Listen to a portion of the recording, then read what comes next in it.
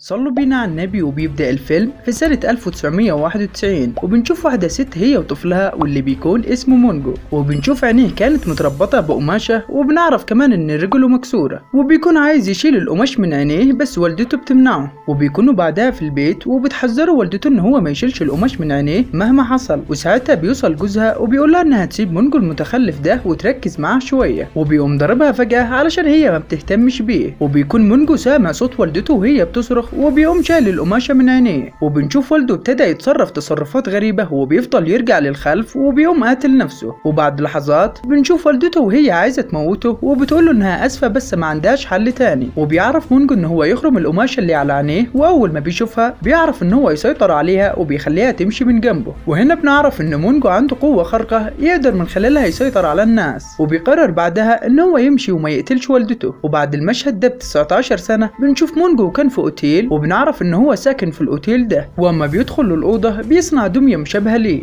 وبتنتقل بعدها بينا الأحداث وبنشوف الشاب ده بيشتغل في الخردة واللي بيكون اسمه فيلكان. وبيجوا عنده صحابه وبينادوه علشان وقت الغداء قرب وبيكون اسم الأول هو ليون والتاني كراو. وبيكونوا بعدها قاعدين وبيقولوا إن هم هيروحوا بكرة لمدينة الملاهي علشان عندهم أجازة من الشغل. وتاني يوم بنشوفهم في الملاهي وبيلعبوا وكان الجو لطيف جدا. وبالليل بيوصلوا صاحبهم فيلكان للبيت وبيكون لسه عايز يمشي بس بتيجي شحنة وبتخبطه. وبنشوفهم بعدها في المستشفى وبيطمنوا على صاحبهم فيلكان وبيعرفوه إن المديرة رفضته من الشغل. وبيرجع بعدها فيلكان للبيت وبنشوفه وهو بيدور على وظيفة في الجورنال. وبيلاقي فعلا وظيفة في مصرف صغير. وبيكون فيلكان عنده قوة خارقة بان هو بيتعافى بسرعة كبيرة. وبيروح بعدها للمصرف اللي هيشتغل فيه وبيلاقيه عبارة عن بيت في نفس الوقت. وبيقول له صاحب المصرف ان هو عيان ومش قادر يتعامل مع العملاء وعلشان كده هيشغله عنده مدير. وبيبتدي يفرجه على المكان وبيشرح له طبيعة العمل هتكون إزاي. وبيعرفه كمان على بنته واللي بيكون اسمها جيونج وبيقول له إن بنته نفسها تبقى مضيفة طيران. وتاني يوم بيمشي روتينه اليومي كالعادة وبيروح الشغل. وهناك بيجي له اتصال من صحابه وبيقولوا إن هم هيعدوا عليه علشان يزوروه. وبنشوف بعدها اصحابه وكانوا بيتكلموا معاه. وبيكونوا مستغربين علشان هو راح يشتغل تاني يوم بعد الحادثة اللي حصلت له. وبيدخل عليهم مونجو اللي شفناه في بداية الفيلم. وأول ما بيدخل بيعرف بقوته الخارقة يوقفهم كلهم عن الحركة وبيتحكم في دماغهم واللي بنعرف ان هو جه للمصرف علشان يسرقه. وبيكون الوحيد اللي معرفش يسيطر عليه هو فيلكان. وبيقوموا فجأة أصحاب فيلكان وبيهاجموه. وبيكون مش عارف مالهم وهم اللي بيعملوا معاه كده. وبيعرف مونجو ان هو يسيطر على جيونج وبيخليها تغز فيلكان بالسكين. وبيبتدي كمان الرئيس يعمل حاجات غريبة وبيحشر دماغه جوه الحديد. وبيروح فيلكان ضارب مونجو وبيقول له يوقف كل اللي بيعمله. ولما بيروح علشان يساعد الرئيس بيقوم الرئيس مكهربه وبيقعوا هما الاتنين.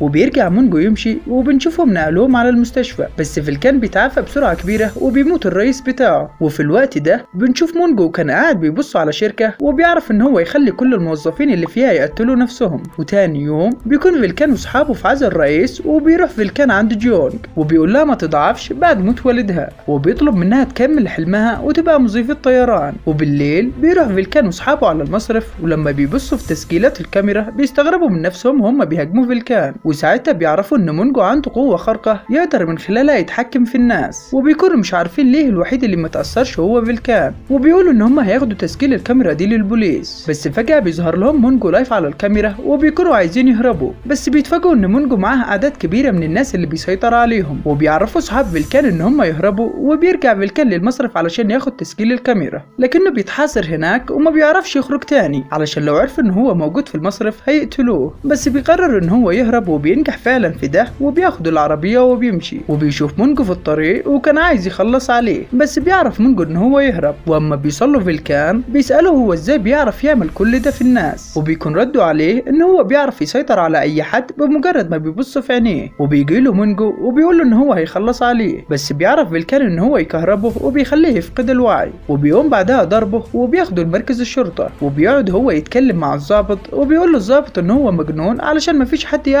يسيطر على الناس. وبيروح بعدها الضابط عند مونجو وبيطلب من زملائه يشيلوا الغطاء من عينيه. وبيكونوا خايفين وبيقولوا للضابط إن التسجيل اللي اداهولهم فيلكان كان شكله غريب فعلا. وبيرجع الضابط يشيل الغطاء من عينيه وبيبتدي يتجنن وبيقوم ضارب على فيلكان نار. وبيعرف فيلكان ان هو يضرب الضابط وبياخد منه المسدس. وبيكون عايز يخلص على مونجو لكنه بيهرب من الشباك. وبيفضل يجري وراه وبيلاقي يسيطر على جميع الناس اللي في محطة القطر. بس كان في طفل رضيع وهو الوحيد اللي معرفش يسيطر عليه. وبيقول له فيلكان ان هو هيخلص عليه بس الناس كلها بتبتدي تهاجمه. وبيكون مونجو سيطر على عقل ست وبيخليها ترمي ابنها لقدام القطر. وبيعرف فيلكان ان هو ينقذ الطفل في آخر لحظة. وبنشوف الناس كلها رجعت لطبيعتها وبتيجي الست تاخد ابنها. وبتضرب فيلكان علشان كانت فاكراه ان هو عايز يخطفه. وبتكون حالته صعبة جدا علشان هو نزف دم كتير. وبيروح له مونجو وبيلاقيه مغمى عليه وبيفتكره ميت وبيمشي. وبنشوف بعدها أصحاب فيلكان وكانوا شايفين الأخبار بتقول إن صاحبهم فيلكان سرق مركز الشرطة وكان معاه حد تاني وتاني يوم بنشوف فيلكان راح لأصحابه وبيكون خف بسرعة كبيرة كالعادة وبيروحوا بعدها هم الثلاثه عند صاحب مصرف وبيسألوا إذا تعرض للسرقه في يوم من الأيام من حد شبح وبيطلبوا منه يديهم تسجيل الكاميرات اللي معاه علشان يتأكدوا إنه مونجو ما سرقش فلوس من عنده وبيكون صاحب المصرف مستغرب من كلامهم وبيفتكرهم مجانين وبيقوم ممشيهم وبالليل بنشوف صاحب فيلكان وكان بيقول لهم ان هو عارف يعمل شوية تعديلات على المسدس وخلاه عبارة عن شعاع من الضوء بيصيب أي حد بالعمى وبيقوموا مجربين السلاح وبينجح الاختراع فعلا. وبيقولوا إن هم هيتخلصوا من مونجو بالسلاح ده علشان مش هيعرف يسيطر على الناس وهو كفيف.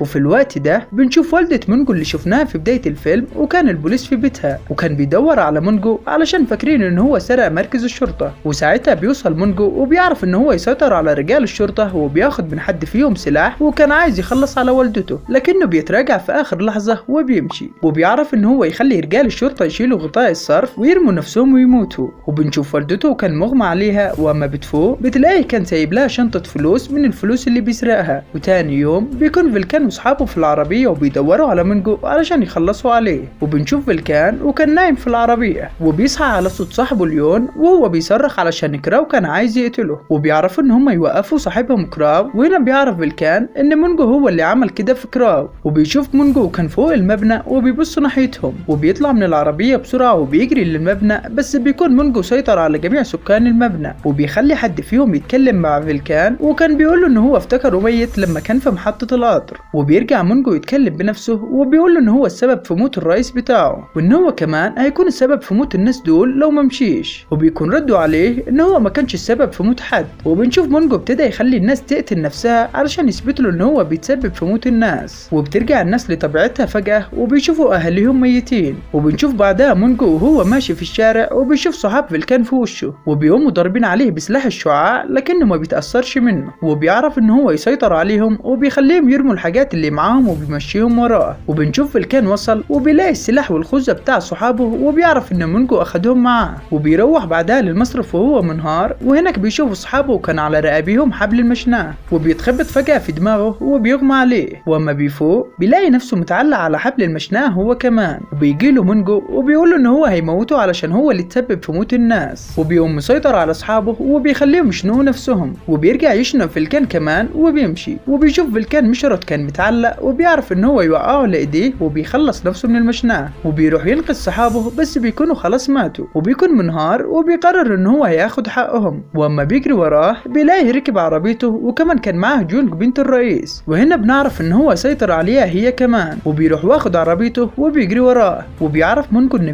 فيلكان ماشي وراه بس بيكون مش مركز في الطريق وبيعمل حادثة. وبنشوفه بعدها طالع من العربية وبينسى ياخد رجله الصناعية معاه. وبيشوف فيلكان كان جاي ناحيته وبيعرف إن هو يستجمع كل طاقته وبيخلي العربيات كلها تخبط في بعض. وبياخد كمان سلاح من شرطة المرور وبيضرب على فيلكان نار. وبنشوفه بعدها راح ياخد رجله الصناعية وبيخلي جونج تمشي وراه. وبيعرف إن هو يسيطر على جميع الناس وبيوقفهم في مكانهم. وبيطلع هو وجونج بالاسانسير لسطح المبنى. وبنشوف كمان فيلكان طلع لسطح المبنى وما بيلاقيش غير مونجو وبيروح ضربه وبيسأله على مكان جونج وبيشاور له عليها وبنشوفها وكانت في حافة مبنى وعايزة تقتل نفسها. وبيروح فيلكان علشان يلحقها بس مونجو بيضربه بالنار وبيوقعه على الأرض وبيقول له إن هو هيخلص عليه علشان هو اللي بيخليه يقتل الناس. وبيعرف فيلكان إن هو يستجمع كل قوته وبيقوم زقه وبيقعوا هما الاتنين على الأرض وبيموتوا. وبالليل بنشوف جونج فاقت وما جرالهاش حاجة. وبنشوف كمان فيلكان وكان لسه عايش وما ماتش. وفي الآخر بيكون فيلكان قاعد فوق عربه وبيمشي في محطة القطر وبيشوف هناك جونج وكانت مستنية القطر وبيعرف إنها بقت مضيفه طيران وبتجيله جونج وبتسلم عليه وبيسمعوا فجأة صوت الناس وهي بتصرخ علشان في طفلة مرمية في سكة القطر وساعتها بيستجمع فيلكان كل طاقته بس القطر بيعدي وبيموت الطفلة وبتشوف جونج الطفله وكانت في حضن فيلكان وما ماتتش وهنا بنعرف إن فيلكان اتعافى بسرعة كبيرة كالعادة وبقى سبب في إنقاذ الناس وبيخلص الفيلم.